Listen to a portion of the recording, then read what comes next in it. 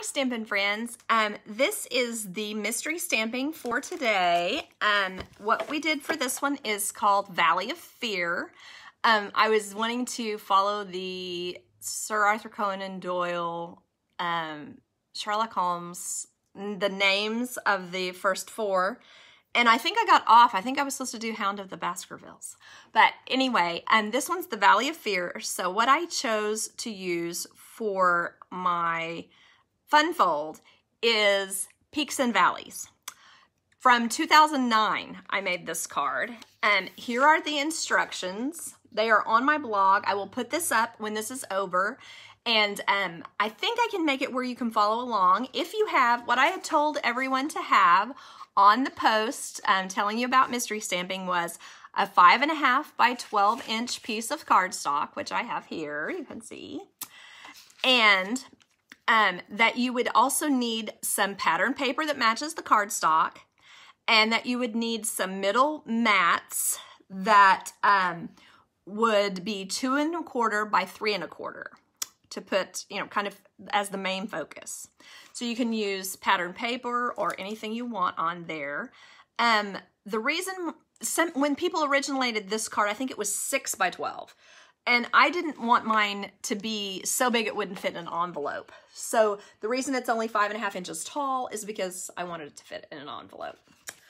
Okay, so the first thing that you do with your five and a quarter by five and a half, excuse me, by 12 piece of cardstock is you score it and I'm just using the scoreboard. You could easily use your paper trimmer um, with a scoring blade to do this, but I do a better job usually with this. So you're gonna score it at two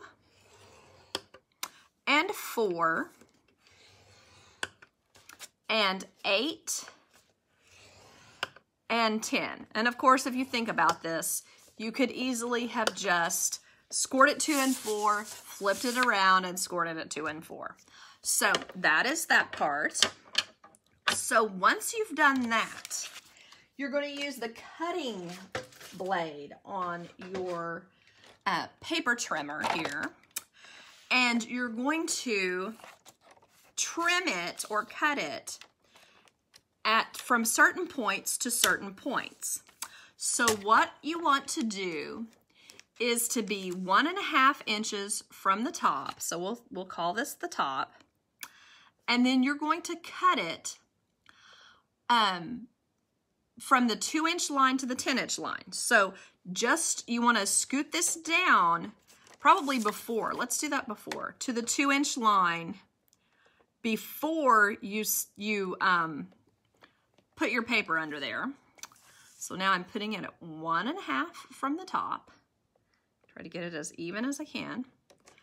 And then from the two inch score line, and I'm going to cut from 2 to 10 only. I'm going to stop at the 10.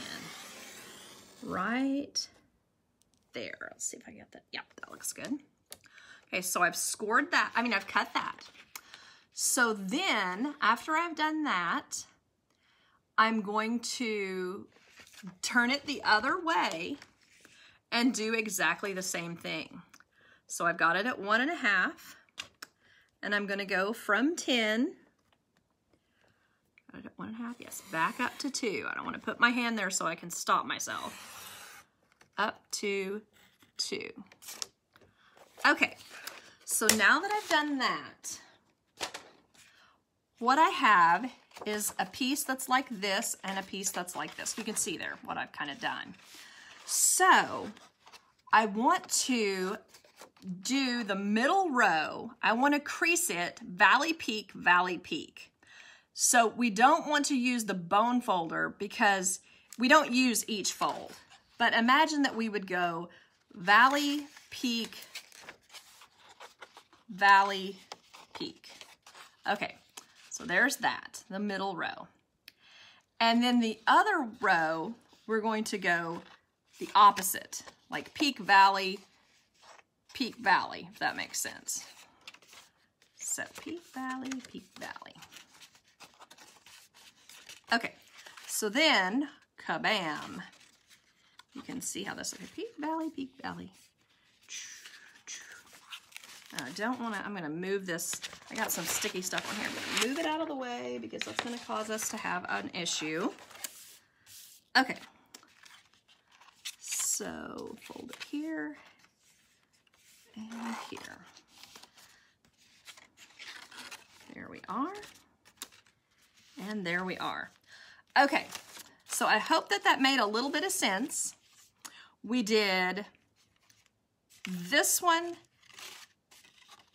Valley Peak, Valley Peak, and we did this one, Peak, Valley, Peak, Valley. I, I don't know if that makes sense, but anyway, um, that's how you make the, the Peak and Valley card. So we have that part done. So all we really have to do now is embellish our card. So there's a ton of different ways to do that. Um, you can um, just, what I think I'm gonna do is just cut different um, sizes of paper to fit on these little spots. So as I mentioned in the original thing, you are in the original what you need post, um, I was saying that it would be nice to have um, some um, pieces of paper that you might that you can use that that are two and a quarter by three and a quarter. So I'm gonna use a couple of pieces of this paper here. I'm gonna go two and a quarter by three and a quarter. Two and a quarter by three and a quarter.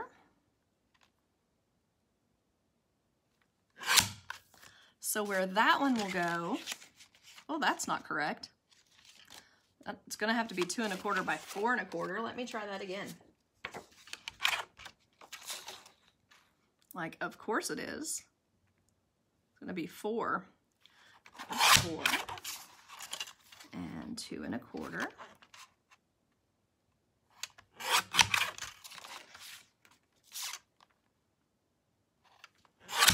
There we are. Okay, so, oh, that's not four either. That's what my thing is. So three and three quarter. Sorry about that, guys. So silly. My instructions from 2009 were not super perfect. Okay, so there, you can see that's where that piece goes. We have that out of the way. And then I want to put the same piece in here because that shows, kind of keeps your mind on where you're supposed to be looking at if you are the person who receives the card because you're going to want to put um, an image layer here with some cute little design and then you're going to want to put your sentiment signing part over here. So there's that. And then I might want to use either this red stripe or some of this other kind of colors of paper um, on the other spots. So let's consider, I think I would like to use some of this nice diagonal stripe. So our entire bottom row and top row are um, one and a half inches from the top. So I want to use one and a quarter paper. And then I want to have each individual piece um, to have different paper on it. So my largest one, I can use my grid paper. My largest ones are gonna be the three and three quarter, just like these others. So I'm gonna do a three and three quarter here by one and a quarter. I'm going to do that twice. Can get it to hold there. Whoops. Just ever so slightly. There we are.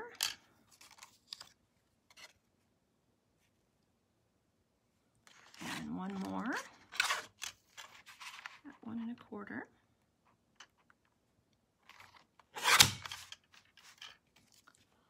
There we go. And the back side of this is a solid red, so I don't think that's our, our most cute paper to use with this necessarily. So I'm gonna try a different one. I think I'm gonna use um, a little bit of this paper. So my middle piece here is um, one, I think I'm gonna use the middle piece there and I'm gonna make some of these other pieces the same, if that makes sense. So my middle piece needs to be three and three quarters by two and a quarter.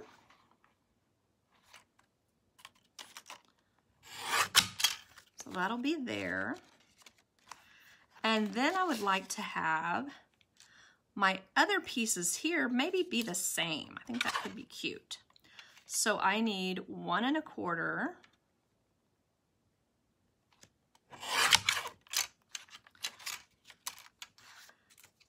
By, let me see how wide that is. That's two inches because we scored every two inches, silly me.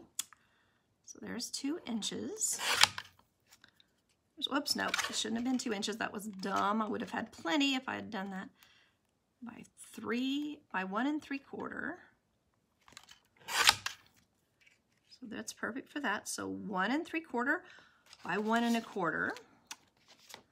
Let me get that. One and three quarter. You can't be afraid to cut your paper with this one because it is fussy. Lots of little fussy cuts.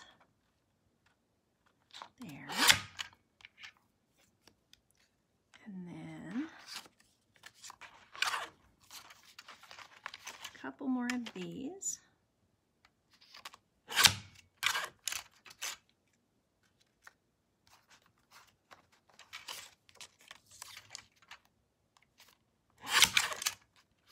There we are. Oh, that guy's too big. Must have done it right. No, no, it's not. I just can't see well. Okay, so now I just need to add some pieces here and here and here and here. So try to decide if I want to use this kind of a pattern or that's kind of too much. That's kind of a country look. Maybe I would like to use this pattern. It's just kind of a stripe. That could be cute. I gotta think what else I have here. Could also use this light, this white. That could be really pretty for the extra piece. Let's see, one more thing. Yeah, I think I'll use this white. I think that could add to it. So I will do one and a quarter.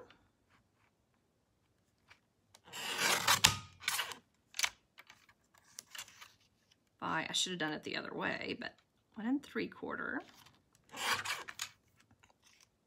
And one and three quarter.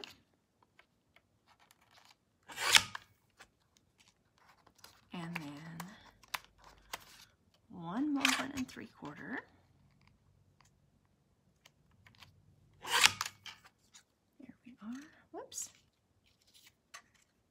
No, that's not one and three quarter, is it?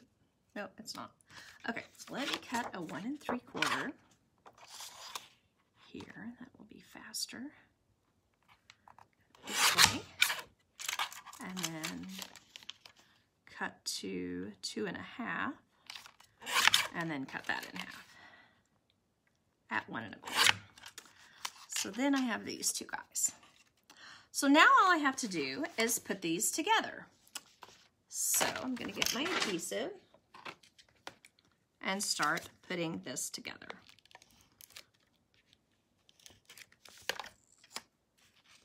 This here. And all I need to do is kind of just visualize where the square is. So that will make it um, a little easier to see.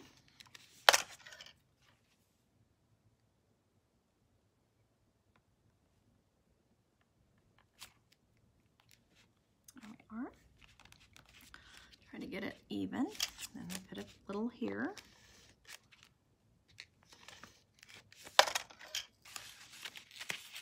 And it's easier to, to stick these on if you lay this flat. And because um, you can always put your peaks and valleys back in when you're finished. Super easy. There are. This one here.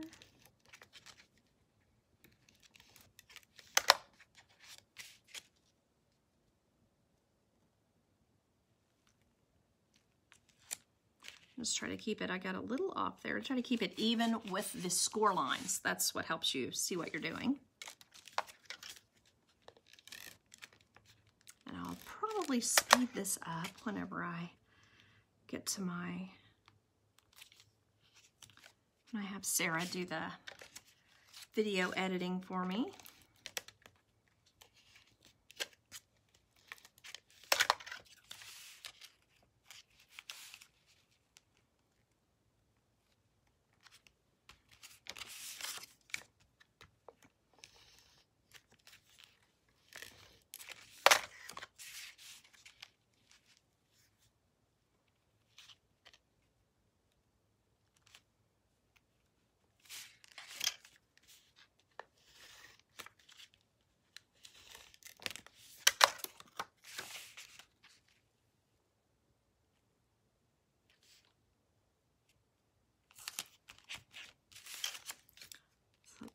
a fussy pieces on this, but it's a lot of fun to make. So you can add ribbon and embellishments and all kinds of things as you finish up the card.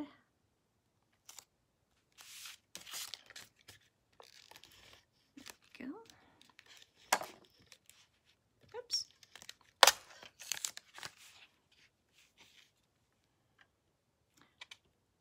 And I do want my diagonals to go the same way. I think that'll look the best. But if you don't, you are certainly welcome to do it another way. Just kind of try to notice those things as I go so I don't have, so it doesn't bug me later, basically.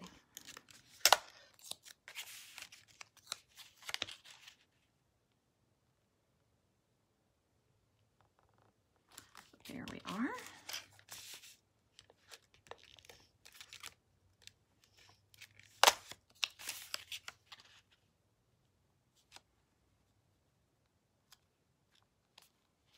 There we are. Then I just need this last piece.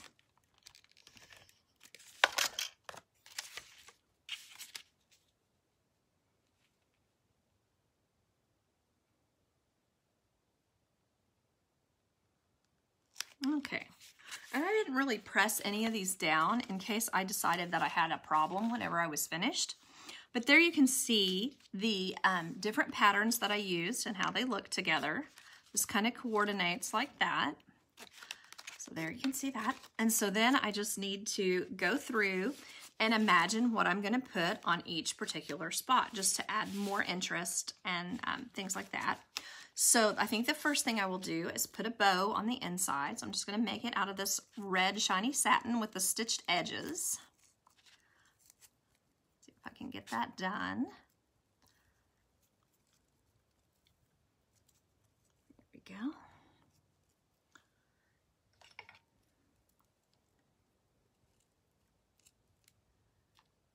Try to make that a little more even.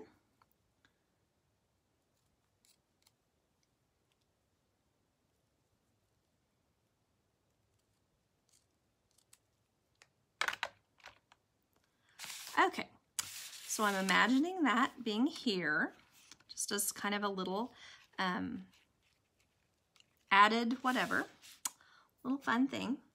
And what would also look really cute on here is the Noel from the um, the set that I used earlier with the um, stitched edges and a little stitched rectangle would look really cute. And then um, I'll probably put some of the little circles that we used on the um, other card just to kind of add um, a little bit of interest, I think. And um, I think just adding circles in with all these other geometric shapes just really um, adds to the, the whole kind of look thing. So like right here, I might could put this bigger one with just a little edge of red right there. So that could be really cute, just all layered on there like that. And maybe run the red ribbon across under here to give it even more pop. Or what would also look good is some white ribbon. really make it pop and shine. So I hope that you will try one of these Peaks and Valleys cards for yourself if you haven't already, if you didn't make one back in 2009. But um, I will put everything in the comments so that if anyone wants to try to do their mystery stamping later, that they can. And I hope that you have a great uh, rest of your day. And thanks for watching. Bye-bye.